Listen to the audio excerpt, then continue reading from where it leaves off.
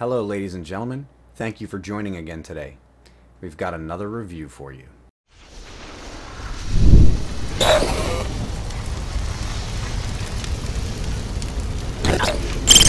So today we've got an interesting review. Um, as you guys know, I'm a streamer, and um, I have been eyeing the Elgato Stream Deck for uh, quite some time, and I probably am still going to end up getting one uh, in the future. I just haven't uh, caved and officially bit down on that yet.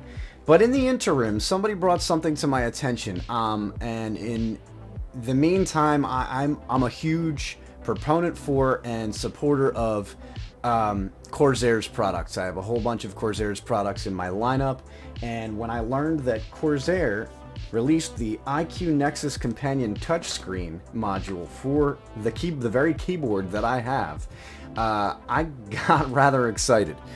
So basically what we're going to be doing is we're going to be hooking this up, testing it out, and adding some macros to it to see how it functions. See if I like it. Without further ado, let's get down to the unboxing.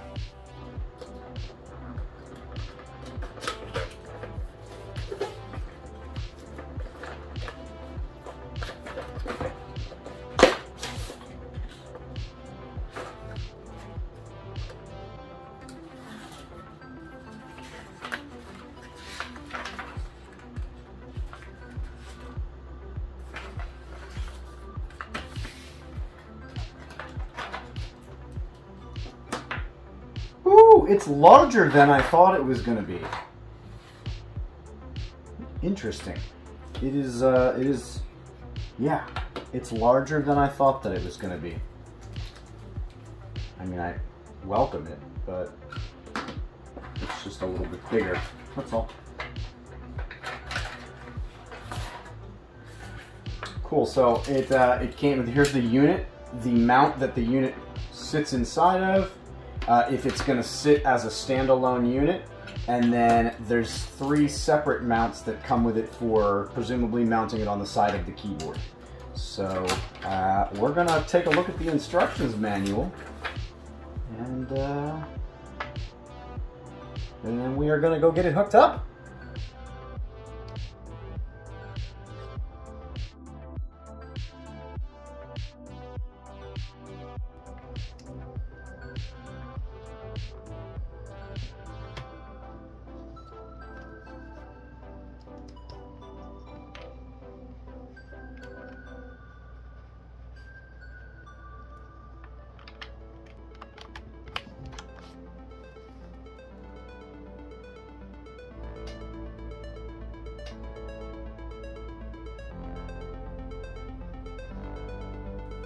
Okay, so what we're doing now is we're going to add the first screen, which will consist of five launch buttons leading to applications I frequently use.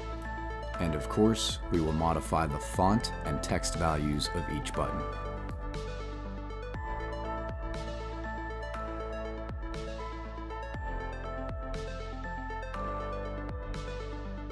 And now we are adding several different screens, each of which will consist of five real-time widgets which I will use to monitor separate components within the PC. Time to test the buttons.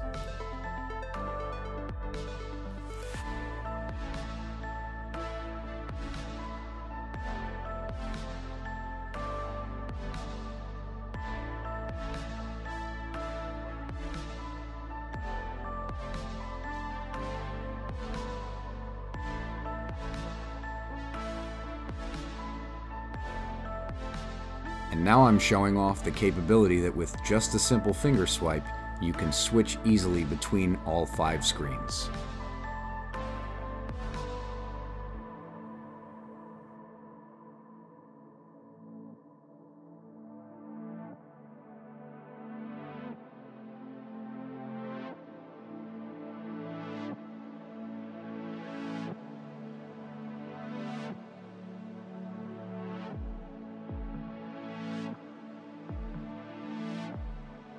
So all in all, this is an incredibly versatile device from Corsair.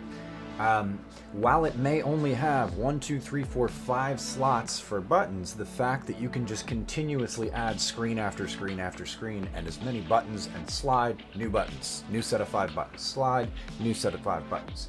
While it may not have actual buttons like the Elgato Stream Deck, um, it is an incredibly useful tool, and as I said earlier in the video, I may very well still opt to get an Elgato Stream Deck, however it would be specifically to use with my broadcasting PC and would be over here, whereas this is on my gaming PC and is attached directly to my keyboard. So, uh, this is a pretty cool product, and I love now how I can monitor my system, have an extra set of volume buttons and play buttons, and also have a uh, most used programs at my fingertips without having to move my mouse around the screen and navigate to different buttons on the start menu or taskbar.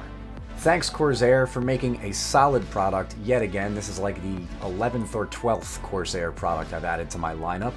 If you ladies and gentlemen enjoyed this video, please give it a thumbs up and let me know I'm doing a good job. Thank you guys for watching, and we will see you next time.